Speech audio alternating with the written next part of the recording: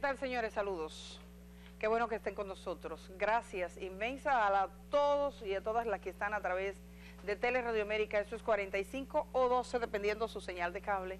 Y por supuesto, los que están en Estados Unidos o en cualquier parte del mundo a través de Televisión Dominicana. Yo me siento muy honrada y muy agradecida de tener esta oportunidad. Siempre es una oportunidad, es un privilegio entrar a sus hogares. Este fin de semana el compañero que lleva eh, todo lo que tiene que ver con nuestra plataforma digital me estaba mostrando desde dónde nos ven. Son las métricas del programa, que en algún momento quizás vamos a presentársela como video, pero les adelanto que, bueno, cuando se trata de vernos eh, digitalmente, la, una gran mayoría es de República Dominicana. El siguiente grupo importante es de Estados Unidos, pero también hay gente en México. Hay gente en España, que sería el cuarto país.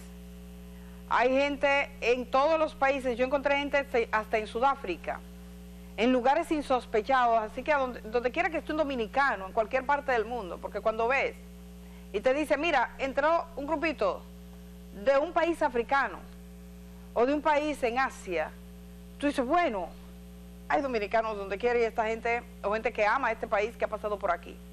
Para todos ustedes, muchísimas gracias.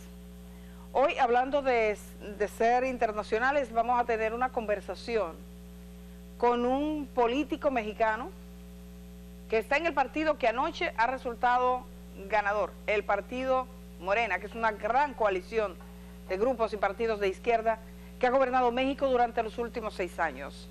Y entonces ahora llega una mujer, Claudia Sheinbaum, esta mujer que llega a gobernar en México, vamos a hablar sobre ella. De hecho, tengo algunas imágenes, por favor, de apoyo de Claudia para que ustedes la vean.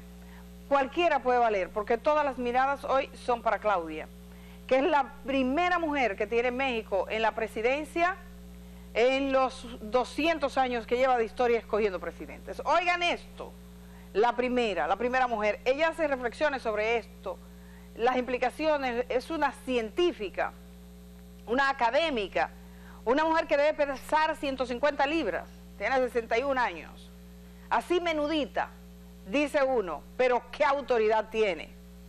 Claudia ha gobernado la Ciudad de México y lo ha hecho bien, dicen los mexicanos, y votaron por ella.